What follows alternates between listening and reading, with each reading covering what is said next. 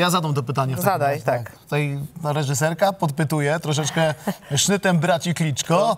A jeżeli byłaby kiedyś e, taka propozycja, abyście razem stanęli naprzeciwko siebie w klatce, to Im mama nie pozwoliła braciom Kliczko.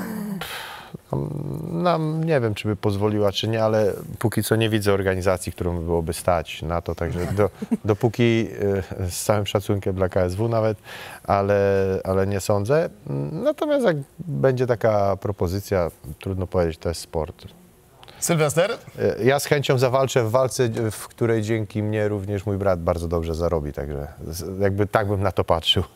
A, a ja jakby przychylam się do tego, co powiedział Szymon, natomiast y, na dzień dzisiejszy różnica poziomów między nami, jeśli chodzi o umiejętności w MMA jest ogromna i na dzień dzisiejszy nie miałoby to żadnego sensu i myślę, że nikt nie jest Prędzej, by, zainteresowany. prędzej byśmy zawalczyli, pewnie jakby nam dwóch braci wystawili na dwóch braci w jakiejś klatce, to, to, No tak. to, No pe- słuchaj, to jest jakiś, rzeczy się dzieją jest to jakiś pomysł. To, jest to jakiś pomysł. Ale Takie rzeczy na świecie się dzieją. co ja mam jeszcze swoją walkę w KSW, Sylwek ma kontrakt w Babilonie, także, a poza tym na razie na rynku nie ma takich pieniędzy.